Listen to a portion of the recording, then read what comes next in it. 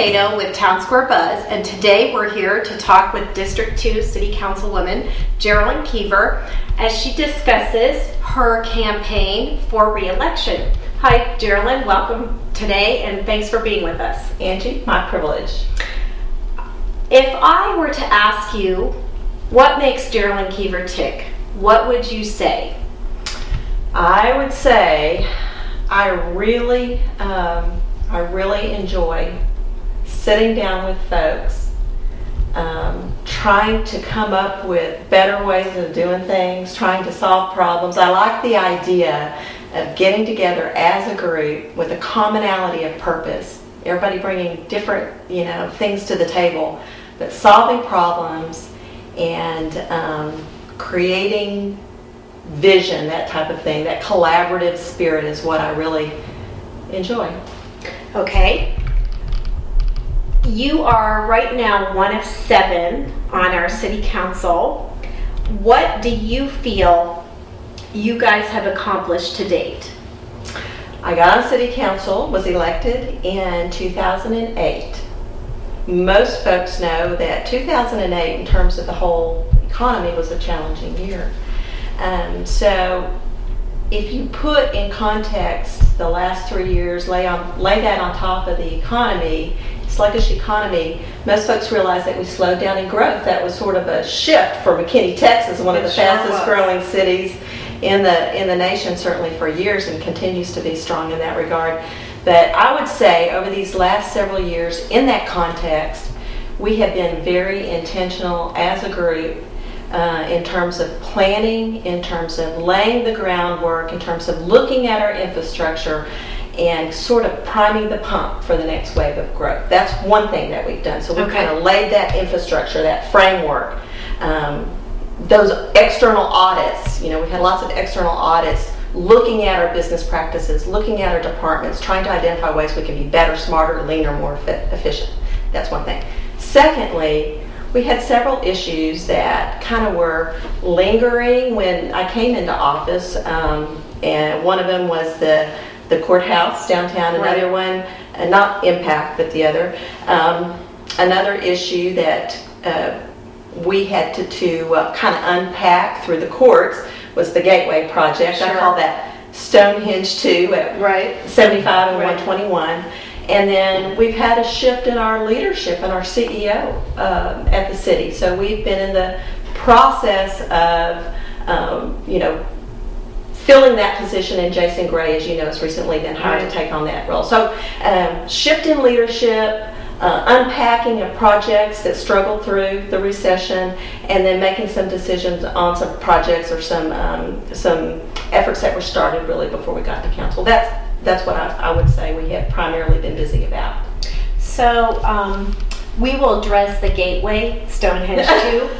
issue a little later in our conversation. Sure. However, if someone said to you, I feel like council has not been active enough in getting things done.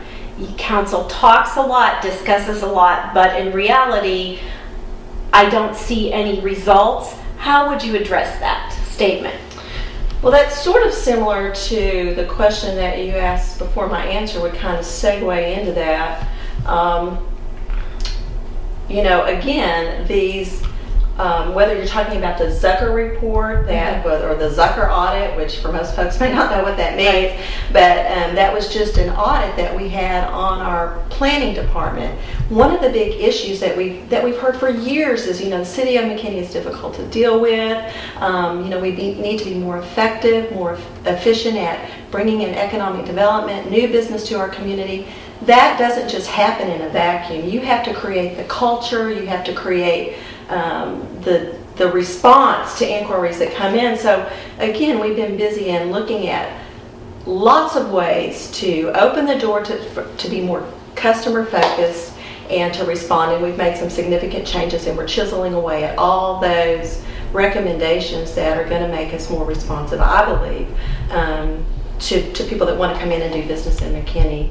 And then um, along those same lines, this isn't perhaps ultra exciting to some people, but we've been a city in many ways, although new census figures have proven that we're 131,000 strong. That's a pretty big place. It is. And in many ways, our governance has been kind of modeled i- uh, for a, a smaller city. And we've had pockets. We've had we have great staff members, and we've had pockets of success. So we've had great, you know, great employees in Department A, B, C, and D. But we haven't had a lot of discussion among, let's say, between finance and capital works, or between um, technology and uh, development and planning. Right. So, you know, just this whole effort of trying to build an infrastructure, build a city from a business practice standpoint that allows information to flow, flow freely between departments Mhm. and that allows us to be more transparent, more responsive, more um, efficient in responding not just to the economic development or the business uh, sector of our, our work, but also to our citizenry. So, um, in terms of vertical structures, bricks and mortar, what you see going up, um, perhaps not as robust as in recent years, but again, you have to put it in the context of a, um, a challenging economic environment, and then you have to kind of look at what we've been doing in terms of laying the groundwork. We're a third of the way built out, roughly 50 some odd square miles. If you look at our ETJ and all the land we have available, we have over 115 square miles. Mhm. So after Dallas, after Fort Worth, after Arlington, McKinney's in line to be the fourth largest city in the Metroplex. Mhm. So we have our future to script. And you've been involved with the chamber, I Yes. know. Um, we've been working with the chamber and other business partners in the city to kind of look out over the lay of the land Mhm. and to think, okay, if we have this much of our future to script, how can we be more strategic? What have we learned from the past? And how can we take what we know now and keep that small town, hometown feel that we all know and love? And how can we chart our future?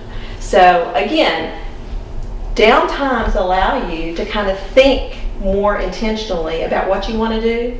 They allow you to plan so that when the work comes, you can work the plan.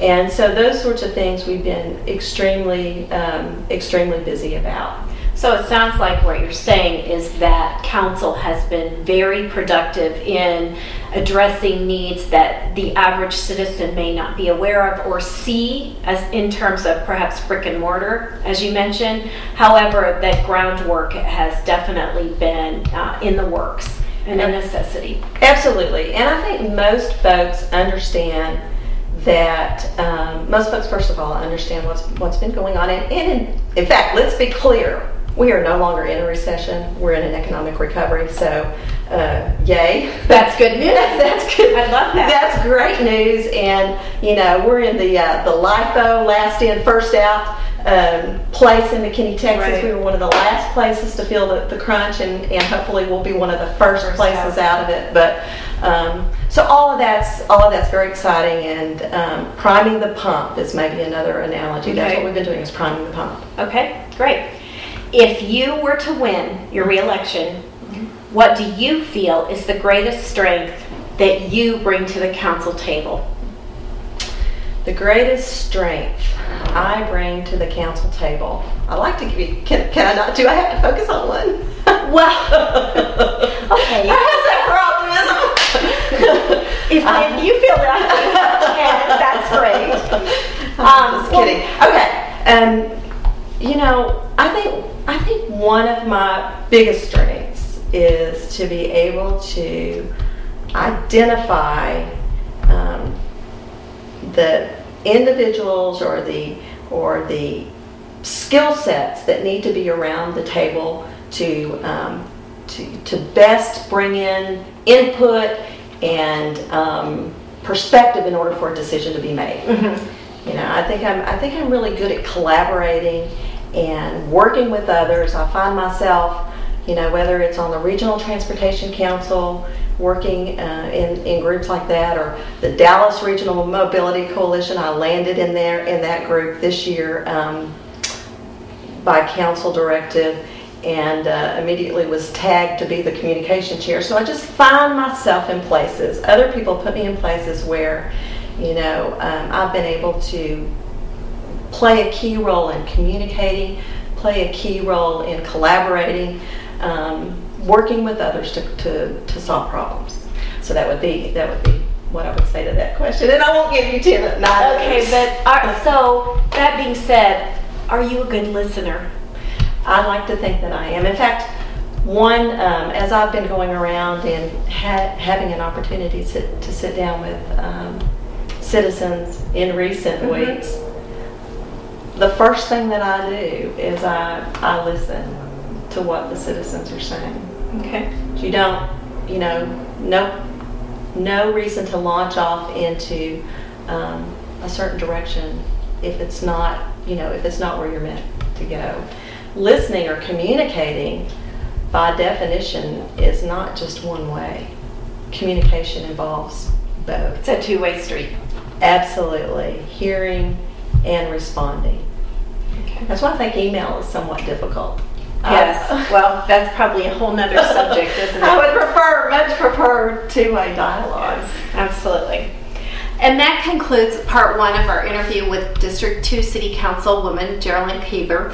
Please stay tuned for part two as we delve deeper into our city's issues.